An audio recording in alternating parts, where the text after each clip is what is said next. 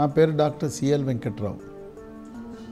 తెలంగాణ ప్రభుత్వం యొక్క టీకాల కార్యక్రమం.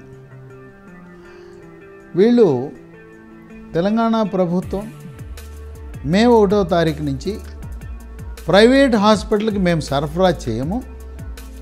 గవర్నమెంట్ వరకే మేము పరిమితం.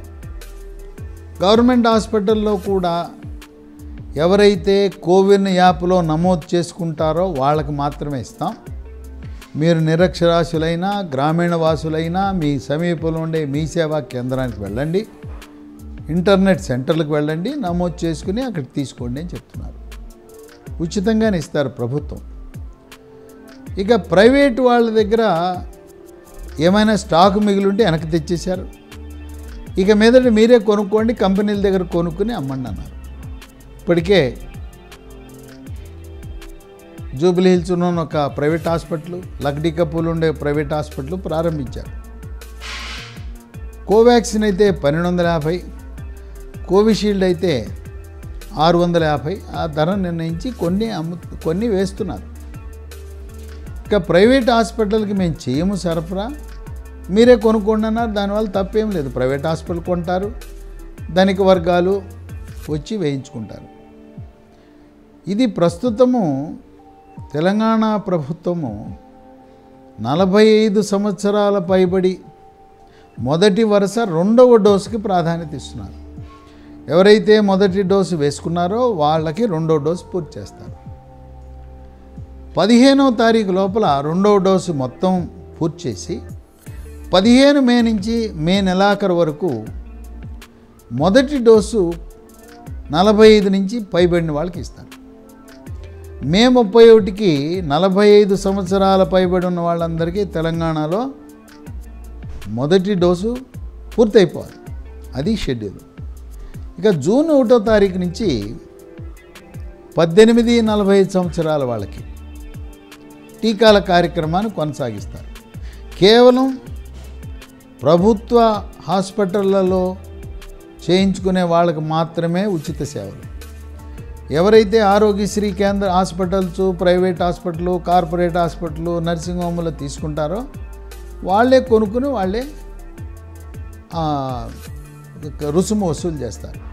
అయితే ప్రైవేట్ అయినా గవర్నమెంట్ అయినా యాప్లో నమోదు చేయటం తప్పనిసరి. ప్రైవేట్ హాస్పిటల్స్ కూడా ప్రస్తుతం మే నెలలో తెలంగాణ ప్రభుత్వ ఆదేశాల ప్రకారం నలభై ఐదు పైబడిన వయసు వాళ్ళకే ఇస్తున్నారు. కార్పొరేటు ప్రైవేట్ హాస్పిటల్ కూడా రెండవ డోసు ఎవరికైతే వేయించుకోవాలో వాళ్ళకే ప్రాధాన్యత ఇస్తున్నారు. మొదటి డోసు వాళ్ళకు పద్దెనిమిది నుంచి నలభై దాటిన వాళ్ళకి కొంచెం ఆగమని చెప్తున్నారు. ఇది ఇక్కడ ఇలా జరుగుతుంటే ఆంధ్రప్రదేశ్లో అసలు పద్దెనిమిది నలభై ఐదు సంవత్సరాల మధ్యలో ఈ మధ్య కాలంలో మాకు సాధ్యపడదు. సెప్టెంబర్ తర్వాత చూద్దాం అని అంటున్నారు వాళ్ళు. ఎక్కడున్నాయి ఎక్కడున్నాయి టీకాలు అంటున్నారు. వాళ్ళకి ఎక్కడున్నాయో టీకాలు తెలవటం లేదు. అంటే డెబ్బై ఐదు మంది సలహాదారులు ఉన్నారు ఆంధ్రప్రదేశ్ ప్రభుత్వానికి.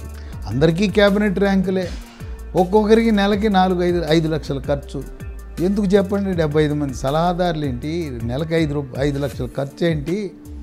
మరి ఉన్న సమాచారం కూడా మీకు సమాచారం మైలేకపోతున్నారు ఎందుకు పేపర్లో ఉంది టీవీల్లో ఉంది యూట్యూబ్లో ఉంది సమాచారం? అది కూడా లేక ఏకంగా సెప్టెంబర్ దాకా పద్దెనిమిది నలభై ఐదు సంవత్సరాల వాళ్ళకి టీకా లేవన్నాడు.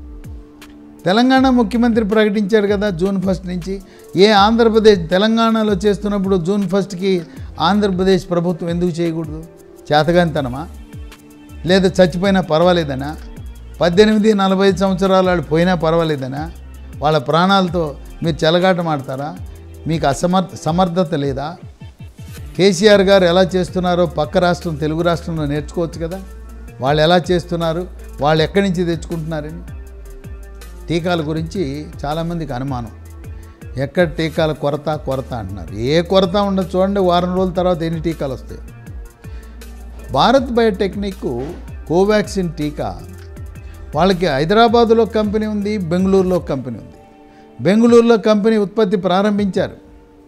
హైదరాబాదులో ఉండే ఇండియన్ ఇమ్యునలాజికల్ అనే కంపెనీ వ్యాక్సిన్ తయారీ కంపెనీతో అవగాహన ఒప్పందం కుదుర్చుకుని మూడు కంపెనీల్లో కూడా కోవాక్సిన్ తయారవుతుంది. వాళ్ళ లక్ష్యము నెలకి పది కోట్లు. అంటే సంవత్సరానికి నూట ఇరవై కోట్ల డోసులు తయారు చేస్తారు.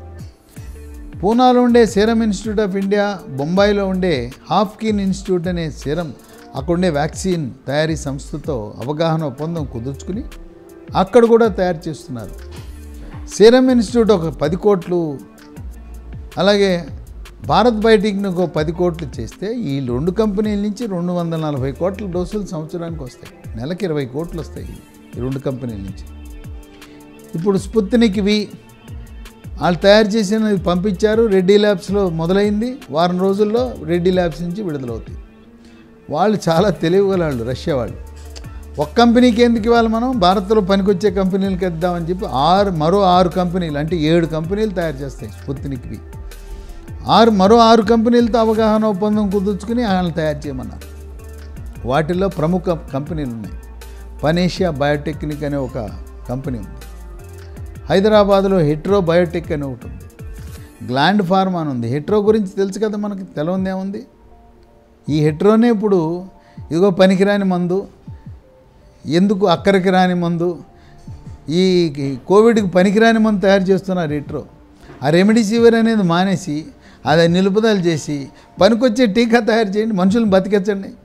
మీరు హెట్రో వాళ్ళు తయారు చేస్తున్నారు మీకు లాభం. మీ డిస్ట్రిబ్యూటర్లకు లాభం. ఎవరికి లాభం లేదు. పోయేవాళ్ళే పోతానే ఉండారు మీ మందు వాడుతూనే ఉండారు వెళ్ళిపోతున్నారు. నీ టీ నీ యొక్క ఇంజక్షను కైలాస యాత్ర. కనుక దాని బదులు టీకా తయారు చేయండి. ఆపు చేయండి. ఎందుకు అనవసరం? పని చేయని రెమెడీసివిర్ ఇంజెక్షన్ తయారు చేసే బదులు నీ సామర్థ్యం నీ యొక్క తెలివితేటలు నీ యొక్క సాంకేతిక పరిజ్ఞానం టీకాలు తయారు చేయటంలో మీరు చూపించండి మీ ప్రతిభ చూపించండి. వాళ్ళు ఎలాగో అవగాహన ఒప్పందం కుదుర్చుకున్నారు కదా? మీరు ప్ర ప్రక్రియ ప్రారంభమైంది కదా? స్పుత్నిక్ వి టీకా హెట్రో బయోటెక్ వాళ్ళు తయారు చేయటం మొదలు పెడితే ఎంతైనా ఉత్పత్తి చేయగలరు. ఆ విధంగా ఇవే కాకుండా అమెరికా నుంచి నాలుగు కంపెనీలు వస్తున్నాయి. ఫైజరు మోడర్నా రోషు జాన్సన్ నాలుగు కంపెనీలు సరఫరా చేస్తారు. త్వరలో జైడస్ కంపెనీ జై క్యాడిలా కంపెనీ అహ్మదాబాద్ నుంచి తయారు చేసి విడుదల చేస్తుంది. హైదరాబాద్లో ఉండే బయలాజికల్ ఇవాన్స్ అనే సంస్థ వాళ్ళు కూడా టీకాలు తయారు చేసి మనకు విడుదల చేసే కార్యక్రమాన్ని చేపడుతున్నారు. ఒక్క కోవాక్సిన్ కోవిషీల్డే చెరొక పది కోట్లు నెల నెలకు సరఫరా చేస్తుంటే ఎందుకు ఆందోళన? అసలు టీకాల కొరత రాదు. రాబోయే కాలంలో మనం ఇది చాక్లెట్లు ఎట్లా అందుబాటులో ఉన్నాయో టీకాలు కూడా అలా అందుబాటులో ఉంటాయి. వాకిన్ డ్రైవ్ ఇన్ ఏమి ఎవరికి అపోహలు అవసరం లేదు. అయితే ఏ టీకా అందుబాటులో ఉంటే అది వేసుకోండి. అన్నీ బాగానే పనిచేస్తాయి. కోవాక్సిన్ కోవిషీల్డ్ తర్వాత స్పుత్నిక్వి అన్నీ కూడా సమర్థవంతమైన టీకాలు సురక్షితమైన టీకాలు రోగ నిరోధక శక్తిని సమర్థవంతంగా మనకు మనకు కలిగిస్తాయి. కనుక ఇదేమీ కేసీఆర్ గారు తెలంగాణ ముఖ్యమంత్రి వైఫల్యం ఏం కాదు. చక్కగా ఒక ప్రణాళికాబద్ధంగా వెళ్తున్నారు. రెండవ టీకా వేయవలసిన వాళ్ళకి వేసే వరకు కొత్త వాళ్ళకి మొదటి టీకా వేయట్లేదు. ఇది ఎట్లుందంటే అన్నం ఇస్తరేశారు. అన్నం తింటున్నాం. మధ్యలో అన్నం అయిపోయింది. ఇస్తరేసి తింటున్నవాడికి ముందు అన్నం పెట్టాలా? వేరే వాడికి కొత్త ఇస్తరాకేసి పెట్టాలా? న్యాయం చెప్పండి. మనం సగం తిన్నాం.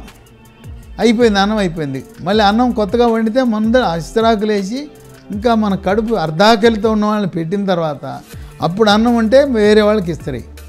వీళ్ళు ఇక్కడే ఉండగానే కొత్తవాడికి ఇస్తరికి ఇస్తరేసి ఆడికి అన్నం పెట్టడం సమంజసం వీడు సగమే తిన్నాడు. సగం ఆకలితో ఉన్నాడు. చెయ్యి ఎండిపోతూ ఉంది. అందుచేత కేసీఆర్ గారి ప్రణాళిక బాగుంది బ్రహ్మాండం. మొదటి విడత వేసుకున్న వాళ్ళందరికీ రెండో విడత. ప్రైవేట్ వాళ్ళు వాళ్ళకి వాళ్ళ వాళ్ళది. వాళ్ళ బాధలు వాళ్ళు పడతారు వాళ్ళు తెచ్చుకుంటారు అమ్ముకుంటారు. మనకెందుకు? అన్నాడు. సరిపోయింది. పద్ పద్దెనిమిది నుంచి నలభై ఐదు సంవత్సరాల వాళ్ళకి మే నెలాఖరు లోపల నలభై ఐదు దాటిన వాళ్ళందరికీ మొదటి డోసు వేసేసి అప్పుడు ప్రారంభిద్దామని ఒక ప్రణాళిక ఉంది. ఒక వ్యూహ రచన ఉంది. నిన్న ప్రధానమంత్రి గారితో మాట్లాడాడు. ఆయన సమస్యలన్నీ చెప్పుకున్నాడు. అయ్యా మోదీజీ నాకు టీకాలు లేవండి. తయారయ్యేది మా దగ్గర. ఇది ఎట్టుందంటే మరి సింగరేణి కాలరీస్లో బొగ్గు ఉత్పత్తి అవుతుంది. ఆ ఊరు ఆ ఊరు వాళ్ళే కొత్తగూడెం వాళ్ళే మాకు బొగ్గు కావాలి బొగ్గు కావాలి. బెల్లంపల్లి వాళ్ళు మాకు బొగ్గు కావాలన్నట్టుంది. నీకు తయారు చేసేది నువ్వే. కొత్తగూడెంలో బెల్లంపల్లిలో రామగుండంలో మీరు బొగ్గు ఉత్పత్తి చేస్తారు. మాకు బొగ్గు కావాలండి మాకు బొగ్గు కావాలండి అన్నట్టు మనం హైదరాబాద్లో ఉత్పత్తి చేయటం ఏంటి? ఇన్ని కంపెనీలు మనకు ఏంటి? మనం ఆయన్ని పెట్టుకుని అయ్యా మాకు మాకు మాకు అంటాం. కనుక న్యాయం. మన దగ్గర తయారయ్యి మన తెలుగు బిడ్డ కృష్ణాయల్లా ఆ భారత్ బయోటెక్నిక్ చైర్మన్ తయారు చేస్తున్న ఆ మందు మనకి కొన్ని టీకా ఎక్కడికో పంపిస్తానంటే ఎంతవరకు సమంజసం? ప్రధానమంత్రి గారు కూడా చక్కగా స్పందించారు. ఇస్తాను మీకు. మీరు అడిగారు కేసీఆర్జీ. ఏం భయపడద్దు చక్కగా చేయండి బాగా చేస్తున్నానని ప్రోత్సహించారు. కనుక టీకాల గురించి ఎటువంటి అపోహ ఉండదు. నా అంచనా ప్రకారం ఆగస్టు పదిహేను కల్లా మొత్తం దేశమంతా టీకాలు అయిపోతాయి. రోజుకు మన సామర్థ్యం తెలుగు రాష్ట్రాల్లో ఇరవై ఐదు లక్షలు ఇవ్వగలం. దేశంలో రోజుకు రెండు కోట్ల టీకాలు ఇవ్వగలం. ఎవరెవరికి అవసరమో ఇప్పుడు పదిహేడు కోట్ల టీకాలు ఇచ్చాం. ఆగస్టు పదిహేను కల్లా స్వాతంత్ర దినోత్సవం కల్లా కరోనా రహిత భారతాన్ని చూడబోతున్నాం. ఆ సమయానికి అందరికీ టీకాలు అయిపోతాయి. ఈ మే పదిహేనుకి తగ్గుముఖం పడుతుంది. ఎవరు ఆందోళన చెందొద్దు. కోట్లలో కేసుల అవాస్తవం సత్యదూరము లక్షల్లో మరణాలు అది శుద్ధ తప్పు. అదంతా కూడా మనల్ని భయపెట్టాలని చెప్తున్నారు. ఎవరూ భయపడద్దు. అయినా ఈ కోవిడ్ ఏంటంటే దగ్గు పడిసిన లాంటిది. మనం సరైన మందులు స్టెరాయిడ్ బ్లడ్ తిన్నరు మాంటెక్ వాడితే మన కాలు కింద చెప్పే. తొలి దశలో మందులు వాడండి. లాంఛనంగా ఆర్టీపీసీఆర్ వద్దు కో ఈ ర్యాపిడ్ టెస్ట్లు వద్దు. అనుమానం వచ్చింది మందులు వేసేయండి. మందులు ఏంటి? చాక్లెట్ లాగా తినేయండి. ఏం కాదు. వాటి వల్ల ఏం అనర్థాలు లేవు. రే- స్టెరాయిడ్ బ్లడ్ తిన్నరు మాంటెక్ వేసుకుంటే ఏం కొంపలే మునిగిపోవు. ఉన్నా లేకపోయినా వేసేయండి. ఎందుకు మళ్ళీ? దాన్ని పెంచుకుంటే మళ్ళీ ఆక్సిజన్ లేదు బెడ్డులు లేవు. మనం ఒళ్ళు గుల్ల. తర్వాత ఇల్లు అమ్ముకోవాలి వాకిళ్ళు అమ్ముకోవాలి పొలాలు స్థలాలు అన్నీ అయిపోతాయి. ఎందుకు వచ్చింది? రెండు వేలు పెట్టుకుంటే మందులు వచ్చేసాయి. ఆ రెండు వేలు పెట్టుకుంటే సురక్షితంగా ఉండొచ్చు కదా. టీకా ఎట్లా మనకు సురక్షితమో వాడేద్దాం ఏముంది? ఈ సీజన్లో ఎవరికి ఏ రకమైన అనారోగ్యం అస్వస్థత సుస్థి చేసినా వేసేయి మందులు వేసేయండి. సురక్షితంగా ఉండండి. ఏం లెక్క పెట్టద్దు. అది లాంఛనంగా ఆ టెస్ట్ ఈ టెస్ట్ వద్దు. ఒకవేళ చేయించుకోవాలంటే పంచపాండవుల టెస్టులు ఉన్నాయి చేయించుకోండి. CRP CBP LDH serum ferritin D dimer లేదు క్యాన్సర్తో మరణించాలంటే సిటీ స్కాన్కి వెళ్ళు. పోయినా పర్వాలేదు క్యాన్సర్ తెచ్చుకుందాం. అంటే సిటీ స్కాన్ చేయించుకో. ఒక్క సిటీ స్కాన్ నాలుగు వందల ఎక్స్రేలతో సమానమని ఎయిమ్స్ డైరెక్టర్ గారు రణదీప్ గులేరియా గారు డాక్టర్ గారు చెప్పారు కదా. ఇంకా దాని వెనకాల పడతారా? పడకూడదు. పనికిరాని మందు ఇంజెక్షన్ రెమిడిసివిర్ రెమిడిసివిర్ పనిచేయదు. మనం నీళ్ళ లాంటి సముద్రంలో ఉప్పు నీళ్ళ లాంటి ఎందుకు పనిచేయదు? శుద్ధ దండగా. అట్లాగే ఐవర్మెక్టిన్ అనే మందు పనిచేయదు. ఫావిపిరావిర్ అనే మందు పనిచేయదు. ఈ మూడు మందులు ఎవరు వాడద్దు. అనవసరం. మన జేబు ఖాళీ. పైగా మన ఆరోగ్యం ఒళ్ళు గుల్ల మూత్రపిండాలు అలాగే కాలేయం దెబ్బతింటాయి. కనుక ఎవరు ఆందోళన చెందవద్దు. మనం అందరికీ టీకాలు దొరుకుతాయి. టీకాలు సమృద్ధిగా ఉంటాయి. ఎవ్వరి ఏ రకమైన ఆందోళన అవసరం లేదు. ప్రైవేట్ రంగంలో దొరుకుతాయి గవర్నమెంట్లో దొరుకుతాయి. గవర్నమెంట్ అయితే ఉచితం ప్రైవేట్లో అయితే వాళ్ళు పెట్టిన ఫీజు వసూలు చేస్తారు.